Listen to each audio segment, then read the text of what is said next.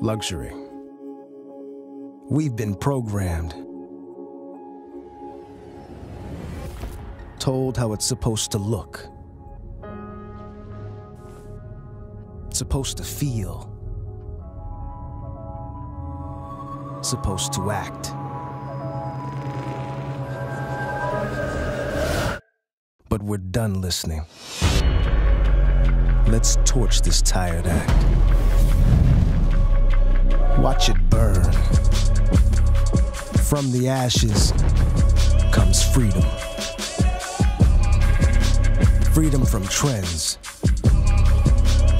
from false influence, and empty symbols. At JennAir, we answer only to progress. And now, we rise anew, awoken, defiant, limitless. Air, bound by nothing.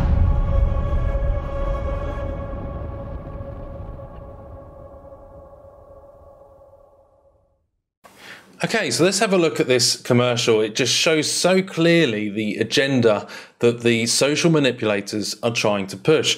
We open here on this car approaching this mansion down this road. You notice that this, there's snow everywhere and that the colours are very bland. So this is showing the old way that needs to be gotten rid of. Look how old fashioned everything is. The the colours are bland, black and white. They're downplaying this for this communist agenda. So this is really showing capitalism. This car pulling up to this to a mansion which is very ornate and it's a, a capitalist scene, if you will. And so this is pushing against it. So as we draw up, you notice everything is old fashioned as I said, and you see that this is a high heel shoe which represents the feminine power over the masculinity. So she gets out of the car, and straight away after that, we see the feminized male. Straight after that symbolism, riding on a bike, look through this dimensional portal. So it's is revealing to you that this is a also a dimensional thing. It's from the other side of the veil. This agenda is demonic. Behind him there, that is a dimensional gateway. And inside this mansion, she could even be the queen. You must have seen in this truth movement the amount of times that they have pointed against, they've exposed the elite that need to be overthrown in this revolution. And that's exactly what this is showing here. Told how it's supposed to look.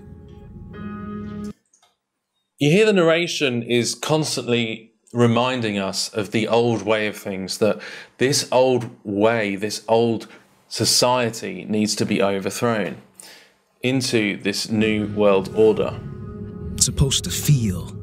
We've been we've been programmed into this society that needs to be gotten rid of, that needs to be overthrown. And you, you notice again the colours. They use these colours as a form of programming. They're using bland black and white colours to represent the old system, the old moral compass, the old religion, which is Christianity in the West.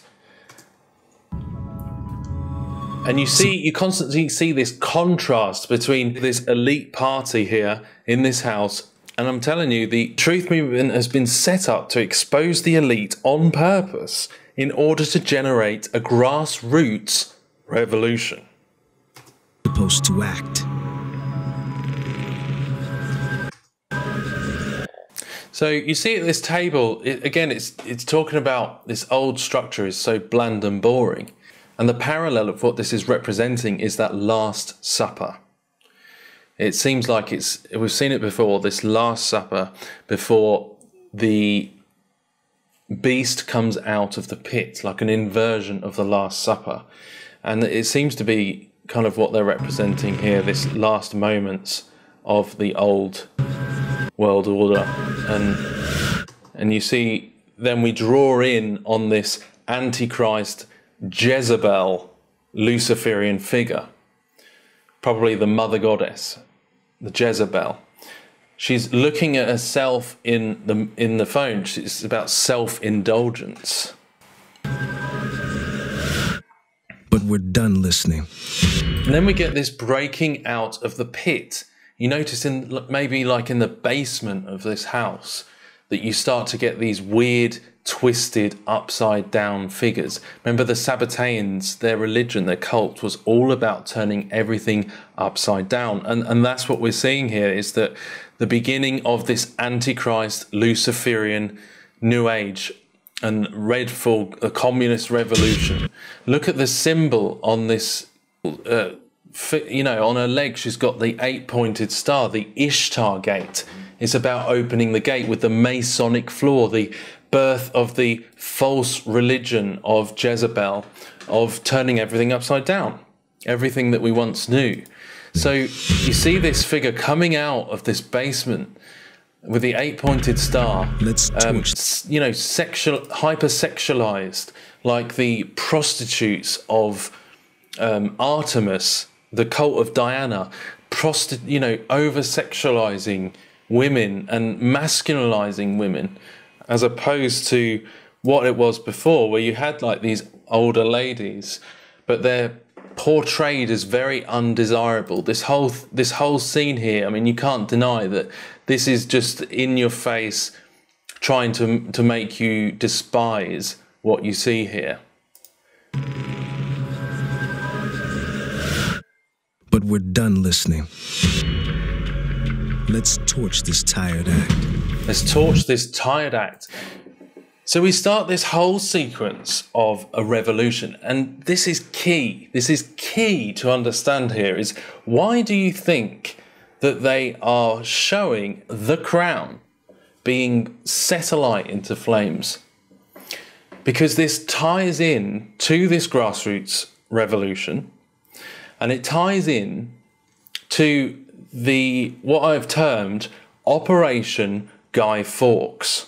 Now think back to Guy Fawkes and you know the fact he was a Jesuit and that he was trying to burn down the Houses of Parliament and it was at the time when King James was working on the King James Bible. So this is representing that burning down of Protestant the Protestant West and the overthrowing of authority. And how many times have we seen in the truth movement, in the mainstream truth movement, that they talk about bringing down the monarchy and, and bringing down authority? So I really think that this is what this is showing here the, the destruction of Protestant Christian West. Watch it burn. Uh, watch it burn, and the, the things he's saying. Look at these demonic figures coming out of the pit, the the the bottomless pit with the smoke in the background, and these this fire is his teeth.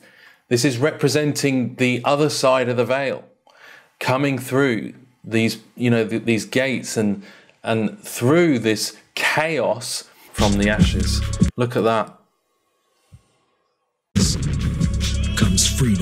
The ashes. From the ashes comes, comes freedom. freedom. he says, and we have these demonic figures dancing about in the with the smoke of the pit.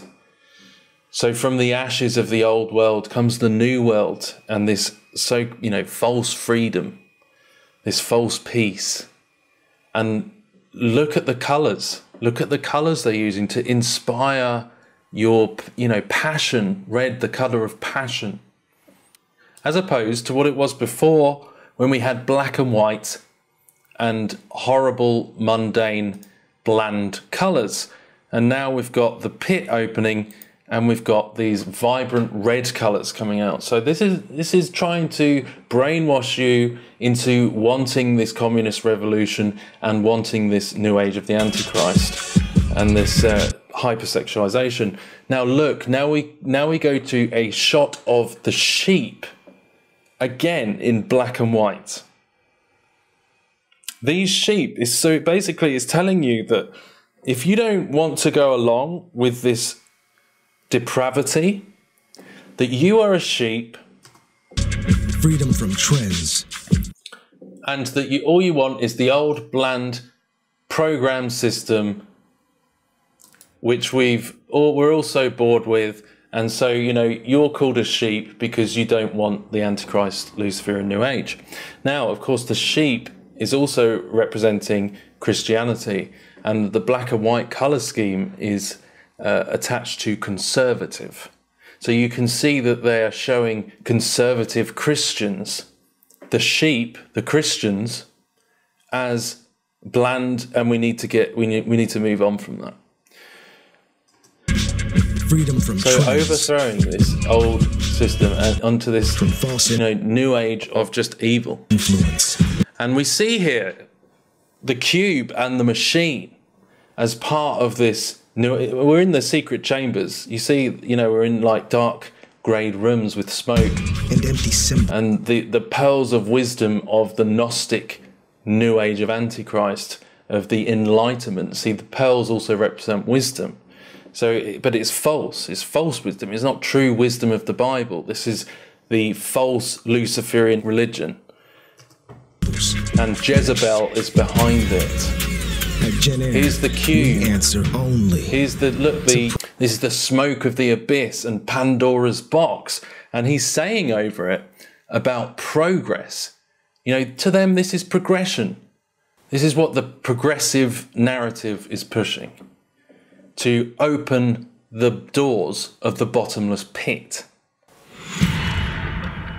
Here's the machine shot, now, the cube rise anew. to open Pandora's box, the wheel of fire, ring of fire. This is all to advertise an oven. And they're using the symbolism of the oven to show the opening of hell, hell's gates. Awoken. And so here we are, the golden age, the opening of the eye, the illumination, Illuminati, Defiant.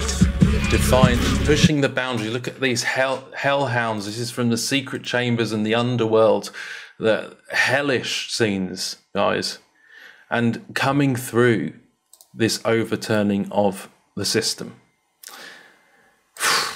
Wow, you know, we have they've really this is the why it's so evil. This, you know, Gnostic religion because it's so it uses so many truths and just packs them into the Antichrist lie. And that's why we need to be so careful.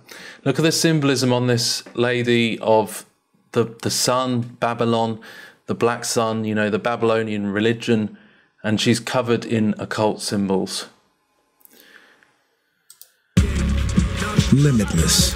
Pushing the boundaries, pushing the limits. And that's what this is all about. The liberal ideology was all about pushing the boundaries. But we know that if we don't have boundaries, we don't have protection against the wolf. You know, the Bible, God Himself loves us and gives us protection, gives us boundary. The Bible says about the city with no walls.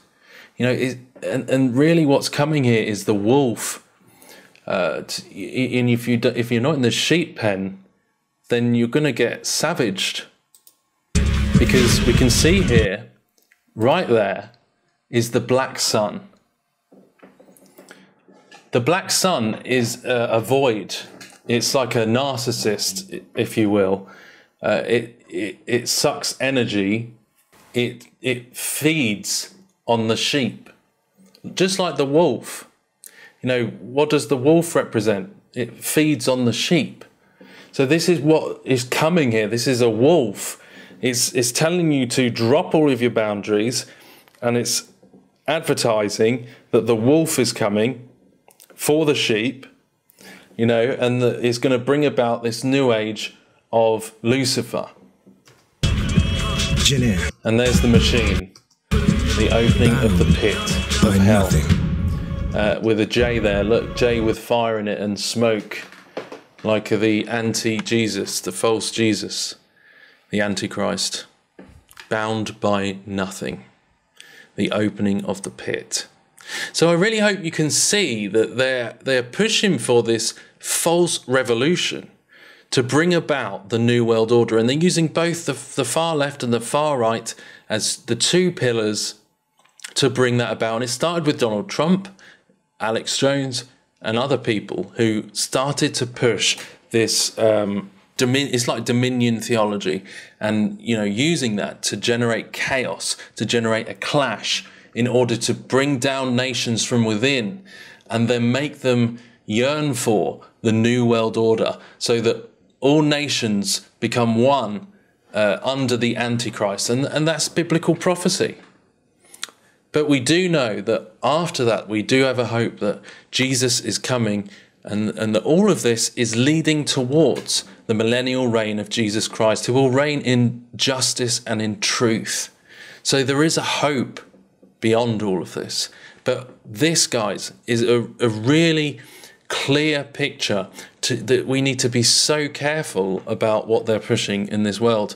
And that, you know, we're not on the side of any of the pillars we have our eyes fixed on Jesus Christ.